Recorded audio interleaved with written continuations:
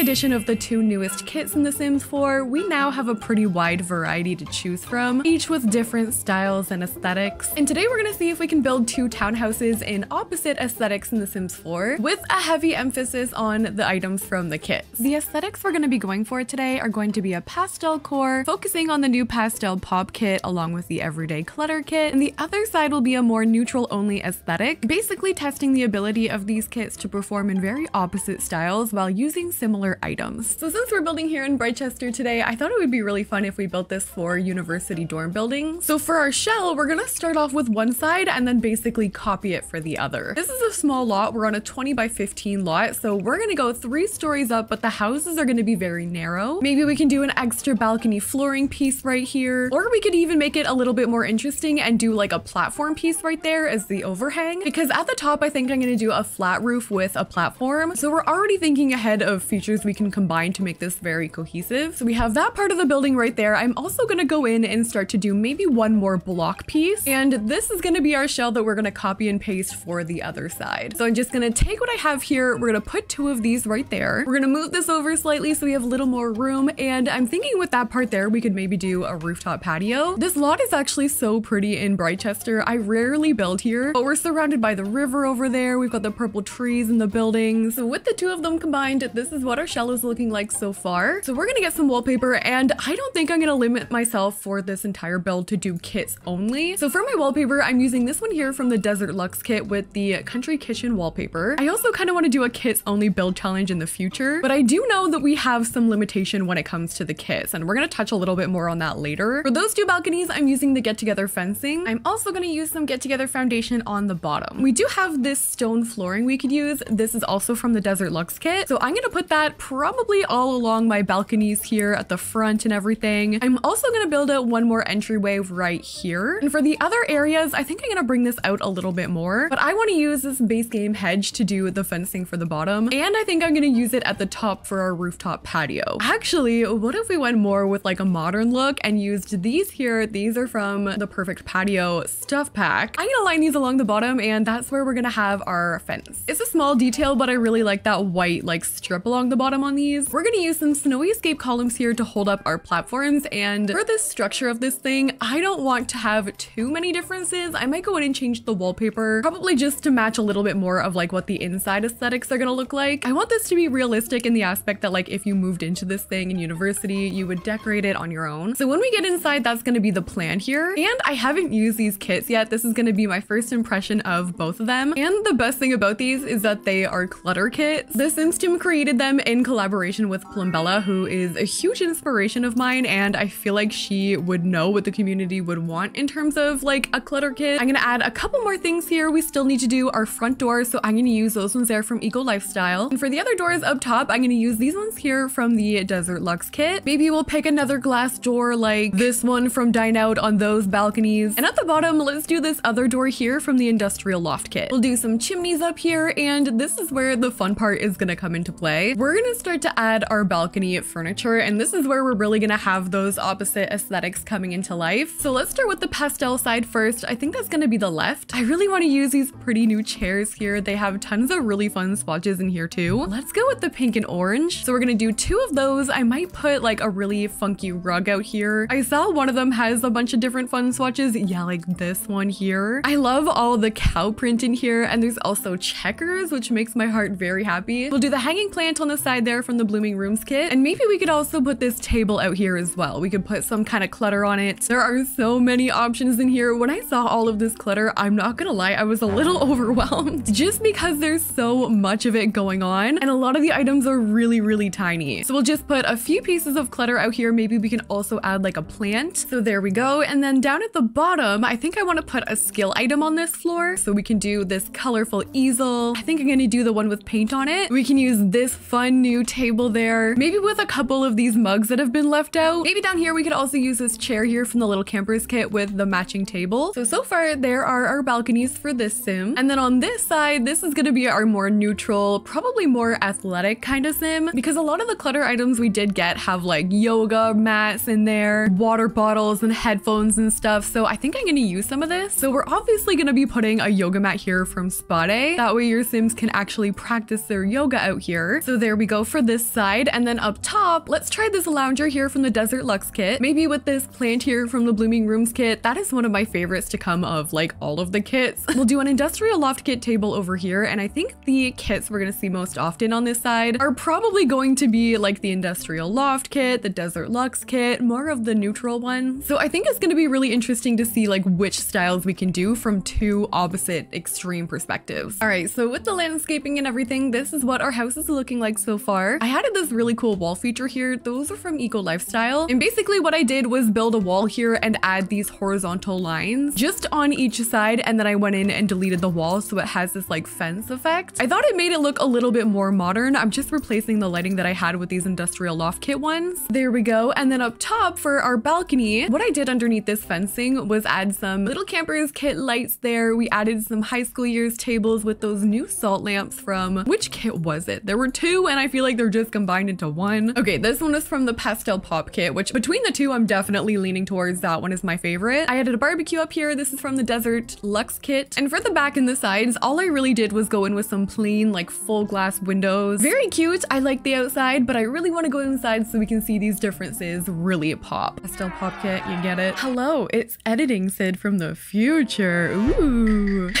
Sorry. So I went back in after I finished this and actually changed the colors of the one side to match a little bit more of the pastel vibe. Very subtle change, but I really like how it turned out. I went in with this vampire's brick here in a blue swatch combined with eco lifestyle stone also in blue. All right, that's me from the future. Have a good day now. Bye.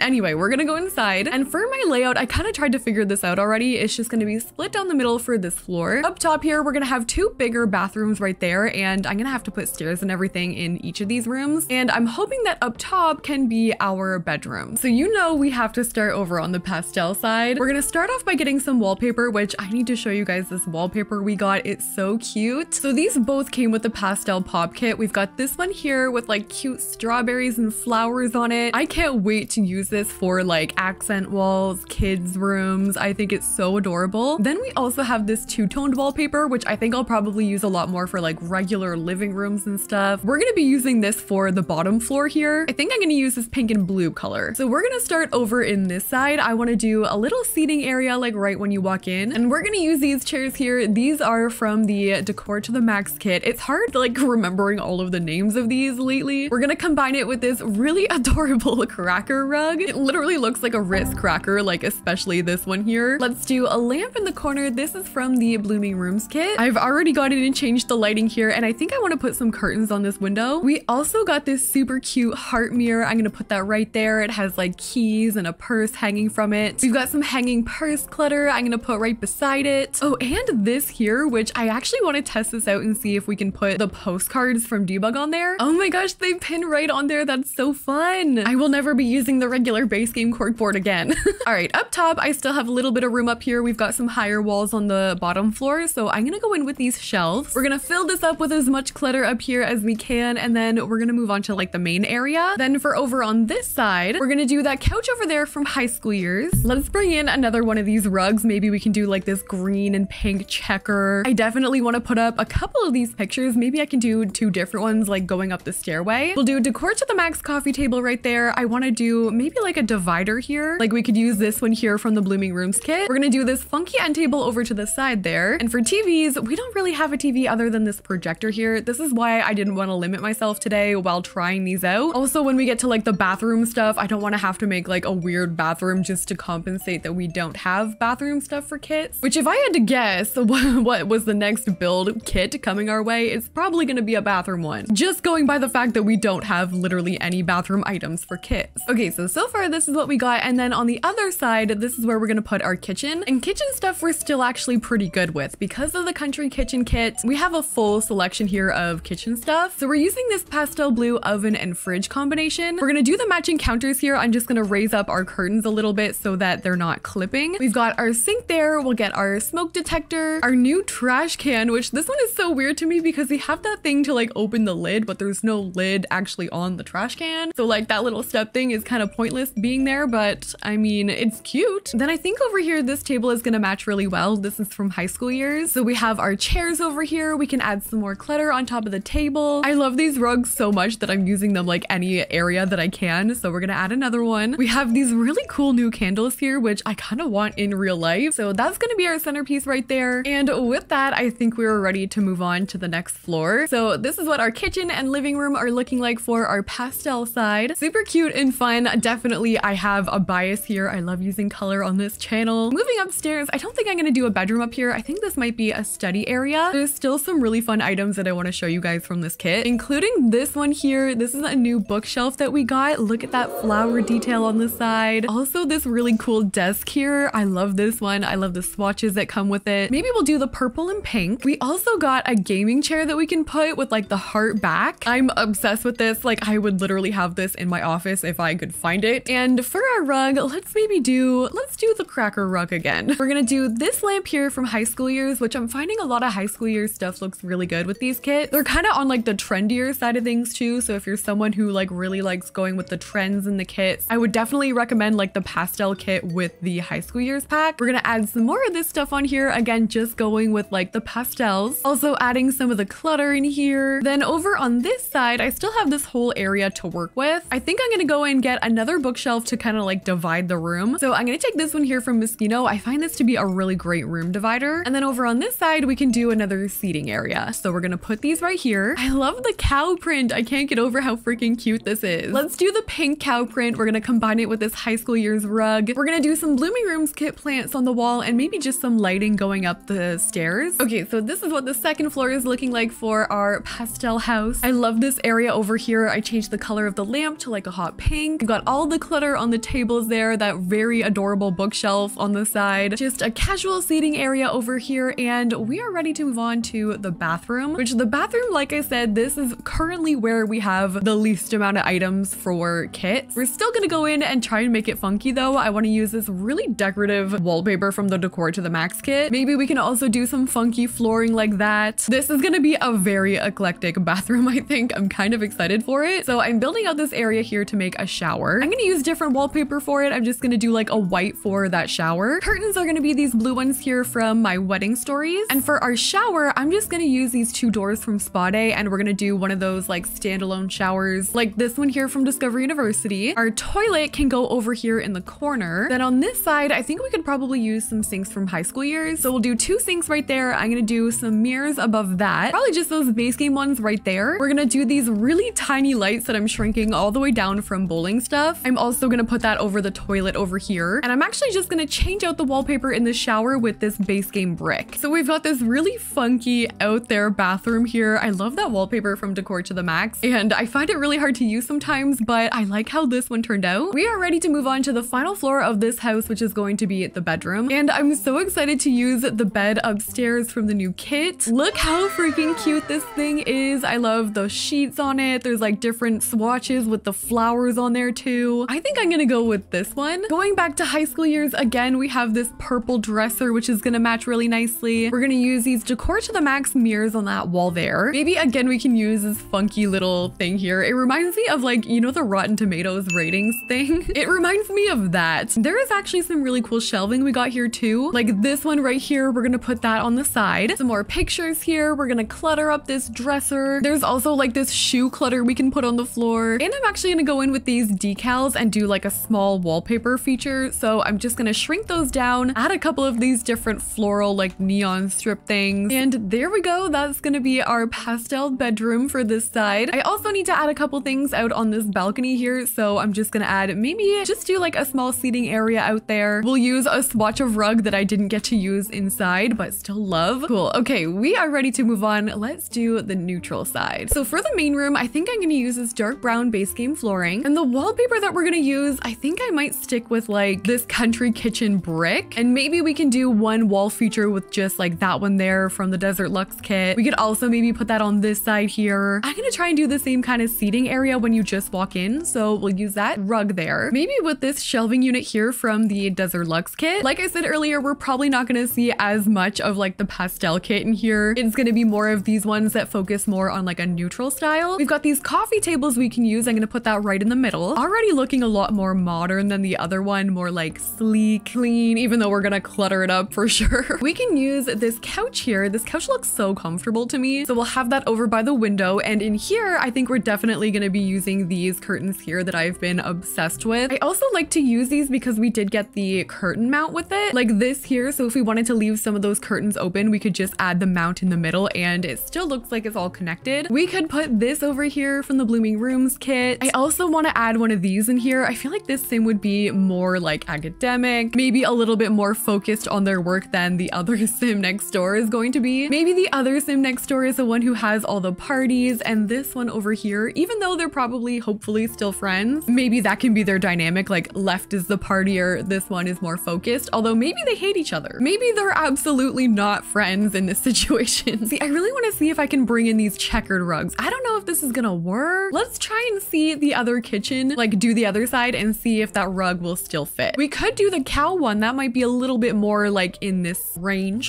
okay, let's flip around. We're gonna do, I think maybe like a dining table right here could fit. So we're gonna do a dining table here. This one's from the industrial loft kit. We're gonna pair it with those chairs there, I think. And then on this side, I mean, we could go in maybe with this here, again from the country kitchen kit, but in a black swatch. And would it work if we did the black counters? Let's see, we'll bring them over to this side. See, the sink has that purple on there and I don't really want to bring the purple into this. So maybe we'll just keep with the counters and I'll put my own sink on there, just like a metal one, like maybe. And then we can go in, I guess with this like panda trash can. I don't know, I'm kind of conflicted. I'm thinking like maybe we match that to the actual counters or just do the white and then I can go in with like some darker decor. Okay, I think I'm gonna leave my kitchen like this. You know, it's funny because the more I look at the cow rug, the more I actually really like it, like especially from over here. I don't know, I think it's really cute combined with like this seating area over here. Very interesting. Let's go upstairs. I really like this brick down here, so I think I'm gonna continue that upstairs too. Maybe up here we can do like a lighter swatch of it and we can go darker with the furniture we add. So we do have a dark version of this desk here. With that, we're gonna do just a base game chair. We'll do the black swatch on the computer there. Maybe we can use this industrial loft kit plant, although I feel like that might be a little too colorful still. I deleted the big lights. I'm gonna go in again with those bowling stuff lights that we used. And we're gonna shrink them a little bit so they're over top of that desk. Then on this side, I wanna see if we have a black version of this. Ooh, we do. Okay, we're gonna squeeze that into the corner there so we're not really covering that window. Adding some more clutter on this side and I still have room for a couch over here. Maybe we can put a TV. Let's bring in the industrial loft kit couch here. We'll do the matching chair. We'll put a rug in the middle. Ooh, maybe we could go with this swatch here and we'll use a coffee table on this side. Again, industrial loft kit. And for our TV, we're gonna go again with that eco lifestyle debug one. We have a little bit of an awkward space under our stairs there. So I'm just gonna add some pillows with the idea that maybe our Sims could come and like grab them. Okay, so our neutral side over here, this is what we got so far. I like that we're still getting that cozy vibe in here. Sometimes I lean away from the neutrals because I find it's really hard to make it look cozy in my opinion. But with this, with like the browns thrown in there too, I feel like we're still achieving that. So let's move on to our bathroom. And I feel like we're gonna go with like a similar kind of idea in here. Wallpaper is gonna be Desert Luxe. I think I'm gonna do the same thing with the flooring. Maybe something like that could look nice. I don't think I'm gonna do the same thing with the shower, but I really think a bathtub in here could look really nice, especially, yeah, this one here from Seasons. We'll do that there. Again, no kit stuff for the bathrooms, unfortunately. So we'll do the fitness stuff sink there, some vintage glamour mirrors. Our towels, I'm actually gonna have them like on the side of the mirror here. Our toilet, I'm just gonna do a base game toilet over on this side and underneath here, I think I'm gonna put a couple of these underneath the bathtub here from Spa Day. I'm gonna do that plant in the corner there from the industrial loft kit and this is so far what our bathroom is looking like. I could probably put another plant over here in this corner too. So maybe we'll just stick this one in here from cottage living. All right, so up to the final floor here, we are gonna do the bedroom. I wanna see, do we have, oh, okay, maybe we can get away with this here. We can use this dark swatch here for that mirror with the heart on it. This has been really interesting to see to me. It's almost like an experiment. Like we're really using similar items here, but getting a very different vibe on each side. I think it's been really cool to see which packs work the best in which styles here. I actually haven't used this here yet, so maybe we could go in with this from the industrial loft kit. We'll do the mirror over on this side from high school years. And for our dresser, I was actually thinking of using this here from werewolves. Again, we'll get some clutter on here. We'll do a chair over on this side here. And actually, I still need to bring some out here as well. So maybe we'll just do like a couple of these chairs, similar to what we did on the balcony of the other one. And I think this is how we're gonna leave our neutral bedroom over here. I love how this turned out. It was really fun to try and use these in different styles than obviously the pastel kit was meant for. Overall, I did really enjoy these kits. I think the pastel pop one is definitely my favorite by far. The everyday clutter one though, kind of fallen short for me a little bit. I do enjoy like some of this stuff like the makeup here and everything, but in terms of like the boxes, like the clutter boxes and everything, I don't know. Let me know which one you guys liked the best here. I also want to know what you guys are thinking about these kits. Do you like them? Did they fall short for you? Let me know in the comment section down below. If you liked the video, don't forget to like, comment, and subscribe. And thank you guys so much for watching. I'll see you in the next one.